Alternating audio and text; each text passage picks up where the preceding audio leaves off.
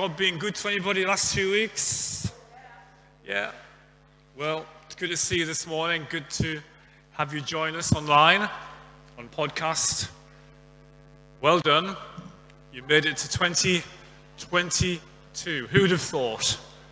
You know, when I was a kid growing up and it was 1960, 2022 was just something off, off a science fiction movie that was kind of way off could be anywhere. Incredible. Well done, you made it. And uh, just to echo my wife's words, thank you so much for your generosity over Christmas to us. And for those online, thank you. We know there are people who give and tithe this, this church and this ministry. Thank you so much again for, we never take it for granted when people give when people support. Um, so it's our, it's our way of saying, thank, you know, I don't send cards. I just, I just say thank you. thank you. So good. It's good to see you. Well, we're pressing, there's a button on my phone for the time where it says, because last time I preached was the carol service, and it was 14 minutes. Well, I'm pressing the reset button this morning. It's not 14 minutes this morning, guys. We're pressing the restart in a new year. We're pressing the reset button, and we're starting all over again. All over again this year. I'm going to start with a new series, new, a new series of messages. And not just because it's a new year, but because um, I'm saying in faith this morning it's a new season. Okay, a new season, it's a new year, and so it's all that kind of stuff put together. So you've got pen and paper, if, you if you're writing notes down on phones and iPads and all that kind of stuff on your hand or whatever it might be. The title this morning is this In with the Old and In with the New. In with the Old and In with the New. You see, the, the saying, what people say, don't they? People say, out with the old and in with the new. You know, thinking about a new year, 2022, and all that, New Year's and January, that kind of stuff, and it's a new month, it's a new year. People say, out with the old and in with the new. But what I'm saying this morning, I'm, I'm contradicting that. And I'm saying, in with the old and in with the new. So I'm going to explain that over the next couple of weeks and, and from a Bible verse or Bible verses in Exodus. So I'm going to read from Exodus chapter 10, verses 8 to 10 from the New King James. Exodus chapter 10, verses 8 to 10. And I'm going to do a, a stop and start read just for this week, just to kind of give you some background and give you some kind of, uh, just, just to, just to fill in some gaps and to, but after, after this, I won't be stopping and starting with the reading. I'll just be reading through. But I'm going to stop and start this week a little bit. This is the, um, the children of Israel are, are, are in exile. They're in Egypt. They're under an evil dictator called Pharaoh, made to, to do hard work, etc., etc. And, and they're away from home and they're trapped. You know the story. They've been in prison for hundreds of years. And, um, and so this, God finally raises up somebody Aren't you glad that God raises up people to encourage you? God finally raised somebody up to encourage the children of Israel, to, to bring a message and to bring support and to confront the enemy in front of them. And I think that's what leaders do. Leaders are called not just to, not just to preach and, and, and be nice people. I think you know, leaders are called to, to confront the enemy on your behalf and say, right, okay, it's time you took your hands off these people. It's time that sickness went. It's time that poverty went. It's time that illness went. And that's what we, we do all week. We, we, we intervene. On, if you wonder what we do all week, we intervene on your behalf, as well as preparing messages and all that kind of stuff, meeting people and that stuff as well. But God finally raised somebody up. God raised Moses up to confront Pharaoh. Um, you, you know the story when he said, you know, let my people go, set my people free. And this is, this is the, um, the eighth time he's done this. Okay, so this is the eighth time. There's already been seven plagues, and this is the eighth plague that God is going to call upon Pharaoh and, and Egypt and all that kind of stuff. Okay, so he's been through this before. And so Exodus chapter 8, verses 8 to 10. And so, remember, this is the eighth time. You know, some people are just so thick that they need telling eight times before they actually do anything. Of course, you don't know people like that. All the people you talk to do things the first time. So Moses and Aaron were brought again to Pharaoh. And Pharaoh said to them, Go, you see, he got so sick of them. He said, Go serve the Lord your God. Listen to this. Who are the ones that are going? Who, who, who's going with you? Who are the ones that are going? And I think, if I'm just going to stop there at, at the first verse, verse 8, I think that's a great question. I never thought about it before until this morning. This wasn't part of my notes that I prepared during the week for this morning. I just thought about this. That's a great question. So, who are the ones that are going with you, Moses? It's a great question because what he's saying, he's saying what I want to say to you this morning is who and what are you taking from what you've been through? What are you taking from what you've been through. Because you do know that when we go through something, we're supposed to take something out of that, whatever we go through. And, and, and so Pharaoh said to Moses, What are you taking from what you've been through uh, and, and where you've been? And I, I think that's a great question to ask people this morning um, on the first Sunday of a new year, in the first month of a new year. What are you taking from what you've been through? And this is not part of the, the message. This is just me kind of throwing in things um, to interpret what, what, what Pharaoh said to Moses. Who are the ones that are going? What are you taking from where you've been? Because some of you in, in 2021 were in places that were uncomfortable. Uh, am I right? There, there were some people here who really, and watching or listening, and maybe still really struggled with, with the pandemic and what was going on and all the rules changing and all the isolations and all the, all the, the rules and the lockdowns. Some people really struggled. So the question this morning is this, you know, when you struggled with something, what are you taking from what you've been through? You didn't go through something for nothing, right? You weren't ill for nothing. You weren't sick for nothing. You, you, weren't, you weren't struggling with the job and with finance for nothing.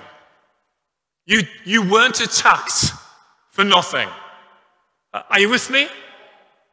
So, so Moses, is, so Pharaoh saying to Moses this great question. He says, What are you taking from where you've been. In other words, in other words, the question is this, uh, and my question to you this morning is this: What did you learn? What did you learn from what you went through? Those, those who went through something. What, what did you learn from where you were? There were some people that, last year who, who suffered with, um, with depression and, and with being down and, and that, that and anxiety and stress. Uh, and my question this morning on the first Sunday in January is what did you learn? Because you did not go through that for nothing. Nobody goes through anything for nothing. We are meant to take something from it. Who are the ones that are going? What did you learn?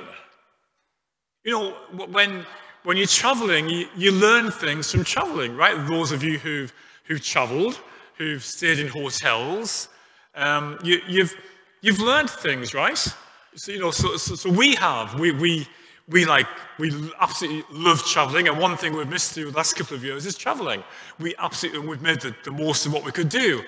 So, you know, when, when we go to London or when we go to Paris and we travel, we, we, we learn, you learn things. You learn things about hotels, right?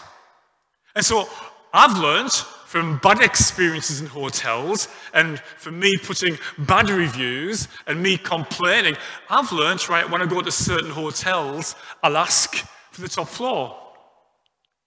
Because on the floors underneath, all you can hear is a pitter patter, a big, heavy, thudding feet on your ceiling till one o'clock in the morning. So I've asked for the top floor, right? You learn. You learn from what you've been through. And I ask for a room that's nowhere near the lift. Or as they say in America, the elevator. Nowhere near the lift because during the night the lift goes all night. It's, it's, see, you learn, see, you learn, don't you? You, you, you, you, just, you, just, you just learn. I've learned when traveling to travel light.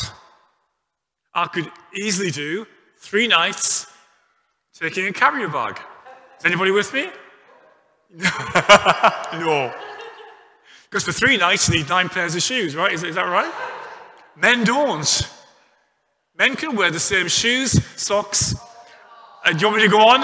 Uh, for three nights. So we, we, I, could, I could easily, easily take a, take a, a carrier bag for three nights, probably a hold for three weeks. You just learn to travel light. You know, what have you learned from what you've been through? One thing I've learned from traveling through bad experiences is, is I always take my own pillow. I'm like a five year old child who walks through the hotel or walks through the apartment or walks through the house, and I'm the one carrying my own pillow. I've had this pillow for years. But I have learned that hotel pillows are rubbish. They kill your neck. You sink into them. You can't get out of the, the pillow comes around your face. They're so soft. I hate them. So I take, and the ones in, in, in, in, um, in Airbnb places as well, I just, I just sometimes like a, like a, a Christian, I've learned to take my own pillow. You see, I've had so many sleepless nights and so many bad necks. What have you learned from what you went through? What have you learned? What, what are you taking away from what you've been through? That's what Pharaoh is saying to Moses. Well, what are you taking away? You know, who are you taking with you? What are you taking away from what you've been through and where you've been? When you went through that season, try and remember a season that you went through and it was a hard season. It was a barren season. Maybe you're there right now. I don't know. Maybe you're not through it yet. It was a sick season. It was a sad season. It was a grieving season. It was a worrying season. It was a stressful season. And you went through that season. You did not go through, and you are not going through that season right now for nothing. You are going through that season. You went through that season to learn something. What did you learn? What are you taking away from that time? What are you taking away from 2021? 2021 was not a pointless year. What did you learn? So he says, so, so, so Pharaoh says to Moses, who are the ones that are going? What have you learned? What, what, you know, what are you taking away? And in verse 9, Moses gives an even better answer. And this is where I got my, my title from. Moses said, we will go with our young and our old. We will go with the new and we will go with the old. We will go with our young and our old. I'm not talking about this this week. In a few weeks' time, I might be talking about this. But when he says we're going with our young and our old, can I just give you some advice this morning? As I'm going somewhere with this message next couple of weeks. Don't throw out everything that is old. Don't throw out everything that is old. If, if you think all things are irrelevant and don't have a place in 2022, you obviously haven't watched the Antiques Roadshow. Well, we haven't watched it either, so I've, I've heard about it, or, or the repair shop. The repair shop's probably but uh, people, people have these old things that they hang on to, and people say, oh, get rid of it. Throw it out. It's no good, not using it anymore. It's useless. Buy, buy new. Get, get a new one. But people, people hold on to these old teapots and these, and these old trinkets and these old, old pictures and these old vases and things. And they arrive at Antiques Roadshow and like they're worth £15,000 or like £20,000 because they're antiques. Hey, there's nothing wrong with old, right? Look at me. There's nothing wrong with old. Don't throw out everything that is old. It's very easy. It's very easy to say, well, it's all about the young people, it's all about new things. But Moses said this Moses said, we will go with our young, yeah, and we will go with our old. There's some good things in old. And all the over 50s said, we can learn from the old. I'm telling you, church, we can, we, we can learn from the old. We can learn there are some old things that we need to carry through to 2022. Yes, I'm all for new, and we want new, and we all want a new experience, and we all want a new touch, and we all want a new, a new breath of heaven. I am really, really, we need new songs. But I'm also convinced that we need the old as well. There's some stuff I need to bring through from 2021 and not discard it and not throw it away. That's why Moses said, hey, you know what? We're not just taking the young. As pretty as they are and as good as they are and, and as youthful as they are and, and how we like new things. He said, we're not just taking the new, we're taking the old as well. In with the old and in with the new. And so, verse 10, this is like a stoppy start you read this this week. Don't worry about it. It's, I'll get into it more next week. I'm kind of laying a foundation this week. And verse 10, then, more, then Pharaoh said to them, he says a funny thing. You know, people say weird things. He said to them, the Lord had better be with you when I let you and your little ones go. What kind, what kind of language is that? What kind of, what kind of wording is that? He says, the, the Lord had better be with you when I let you go.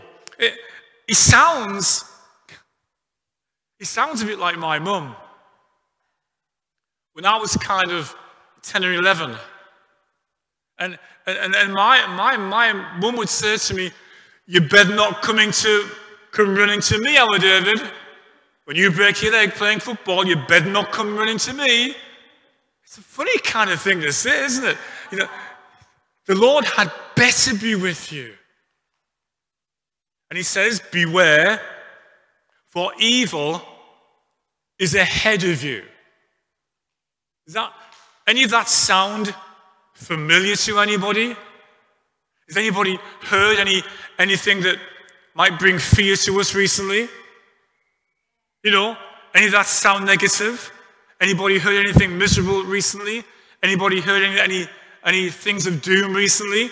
Anybody heard of any fear spreading recently. You know, you're trying to be optimistic, and, and we're all revving ourselves up and trying to look forward, and especially we as Christians, believers, and church people, we, we're trying to look forward, right? We're trying to, we're trying to be faith-filled, and then we read and we hear, it's going to get worse before it gets better. You'd better get ready. The Lord had better be with you. Tough times ahead. We're all going to be worse off in 2022. More variants are probable. You will need a fourth jab. You'll need to wear a mask when you're asleep in bed. Ah, oh, Pharaoh, shut up. Don't you just want to say sometimes to people, oh, just Shut up. You want to shout at the TV sometimes? Oh, Pharaoh, shut up. If I wasn't a saved, sanctified Christian, there are a few other phrases that I could use, but um, I'm saying with shut up. Oh, Pharaoh, shut up. And then uh, I read this verse again in the original translation, because that just sounded to me, that, that sounded weird. Lord had better be with you when I let you go because there's evil ahead. And so I read the original King James. And the original King James, Exodus 10 9, and Pharaoh said to them, Let the Lord be so with you. That sounds so much better to me. I like that so much better. Let the Lord be so with you. And that, what is strange about I like it, but what's so strange about it, it's coming from the mouth of an enemy of God. Isn't that strange? Somebody who's trying to block God, somebody who's persecuting believers, says to the believers, Let the Lord be so with you. Can anybody say amen to that this morning? Can anybody recognize that the Lord be so with you this year? Let him not be with you, just be, let him be so with you. We are so glad, God. We are so blessed. We are so favored. May the Lord be so with you. In every storm this year, in every storm, in every season, in every attack, in every battle, in every trap, every obstacle, every giant you might face. You know what, church? My prayer, my honest prayer, I'll be praying this every, every day for you. May the Lord be so with you. Despite what's coming from the TV, despite what's coming from media, despite what pops up on your phone, despite what, what comes through on, in newspapers, you know, whatever, shut up, Pharaoh, just shut up. Shut up, devil. Trying to scare people and frighten people. My, I'm going to come back with this every time. May the Lord be so with you. Because if the Lord is so with us, what shall we fear?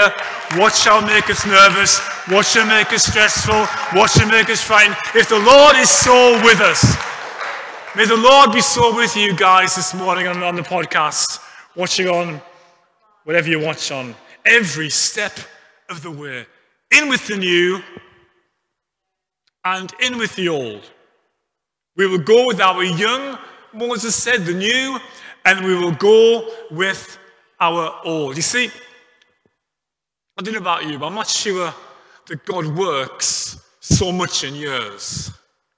I don't think when the bells rang in 2022, it actually meant that much to God. I, I don't, I'm not sure that God works in years. From my experience and from the Bible, God, God seems to work in seasons. And, and God seems to work in times. And, and God seems to work in moments. That, so, you know, in one year, we can have five or six seasons in a year. Have you found that? You can have five or six seasons. You can have a season where you are absolutely blessed out of your socks. You can have a season when you are sick. You can have a season when you're in need. You can have a season of uncertainty. You can have a season that, that is, is a pressured season. And when you look back over your life, haven't, haven't been years, they've been seasons. Or we can have a season that lasts for a whole year. Sometimes a season can last for a year, and that is great. If you're in a season of blessing, you don't want it to end, do you? When you're in a season of blessing, and when you're in a season of favor, and when you're in a season of plenty, you never want it to end. So you say, Bring it on, God, give me, give me a whole year. Who would this morning love to have a whole year of plenty? You would love to have a whole year that's a season of favor. A whole year when, when you are healthy and when you are blessed and when you are looked after. Bring it on, but it's not so great if we're in a season of pain. We don't want a whole year of pain. We don't want a whole year of lack. We don't want a whole year of struggle. So when Pharaoh said to Moses, when you leave here, when you leave 2021, who are the ones that are going? What are you taking with you? And Moses' answer was, we will go with our young, we will go with the new, and we will go with the old. We'll go with both. We'll go with young and old, new and old. And, you know, we're going into this new, this new time. We're going into this new season. Some of us are going into new battles this year. People are going into new storms. People are going into new things. You know, we are believing as a church for a new thing from God, that God's going to do a new thing. By that, I mean a fresh thing. I don't mean anything weird or anything, anything that, that's not of God, but God, you know, God, do, do something new. Do something fresh. We need a fresh wind. How many people can say amen to we need a fresh wind? I don't want an old wind that blew 40 years ago. We need a fresh wind this morning, a fresh wind this year. And, and we're going into this new thing in with the new, and what? And in with the old. You know, I was, and before I get, before I finish, I pray every day for the church for, for a long time. I think about the church every day. And, and one of the things that I, I pray for, I pray, I pray for three things in priority. what I believe, I don't, know, I don't know how you pray for the church. I hope you pray for the church at least, at least once a year. What you pray for the church? I pray every single day for a long time about the church. I, I, pray, in, I pray for three things in what I believe are the priorities. Number one, I pray for people. Because people are always the priority. Are you with me? Do you understand that? Secondly, I pray for finance, because without finance we can't do church. And thirdly, I pray for buildings and venues. Because God has given us a venue, but I always believe for the next venue. So I'm kind of in the next venue while we're still in this venue. And I am I have prayed and prayed and prayed and still praying and still praying and still believing and sharing with people that I am believing for, for, for a venue as a gift. That somebody will gift us a venue. Will say to us, you can have this venue, it's yours, do what you will, and it's free. Is that too far? Is that too out, out? Is that too, is that too much? Is that too much to believe? Is that kind of way out there? Is that, is that fantasy? I don't believe it is. But then I began to pray for you. You know, first of all, I began to pray for you. I began to pray for every person who comes to this church and who watches online. I, I prayed for you. And God gave me a word for somebody. It's nothing, nothing at all to do with this message. And God gave me just three words The people this morning who are needing something from God. Three words. Are you listening? You might want to jot this down so at the end of the year you can check to see whether this actually happened. Three words that God gave me as I'm walking along and praying for people are these out of nowhere. Out of nowhere. And I want us to test this this year because I believe, I believe that there are people who are going to get jobs out of nowhere. It's just going to come. The job is just going to come. There are people who are going to get promotions out of nowhere. You did not see it coming. There are people who are going to get finance that you so desperately need out of nowhere. Dare I say this morning, there are people who are going to have babies looking beyond the front row. And maybe the second row, I don't know. I'm not sure about the second row, like I'm, I might quite believe for the second row. I can believe for the rest. Out of nowhere. Can you see what I mean this morning? There are people who are going to get healed out of nowhere. Just didn't see it coming. Anybody can believe? I can believe for that this year. Because I, I know God. I've walked with God. I've believed God. I've prayed God. So when God gives me a word for people, and I don't know who it's for or what, it, or what it's in relation to, that, that something is something good is coming your way, something blessed is coming your way, something that you need and you prayed for and believed for and are desperate for and cried for is coming your way this year out of nowhere. I even looked for a Bible verse and there isn't one. Is this, is this a message I've got to prepare? There isn't a Bible verse for that. There's experience for it. Because we've seen God come out of nowhere, supply out of nowhere. And my, my prayer before, before long, sooner rather than later, is that something is coming to you out of nowhere. That's what God can do. God's going to do it because God can do it. In with the new and in with the old. I haven't even got to any points this morning. I'm just laying the foundation. And I'll start proper next week on this message. But there are people who need to hear this. There are people who need to take something from what you've been through and where you've been. And some of that stuff is old stuff. Thank God for new this morning, but hey, thank God for the old as well. Amen. Can anybody believe it? Thank God for new blessings, and thank you, God, for all blessings. Thank you for new faithfulness, and thank you for old faithfulness.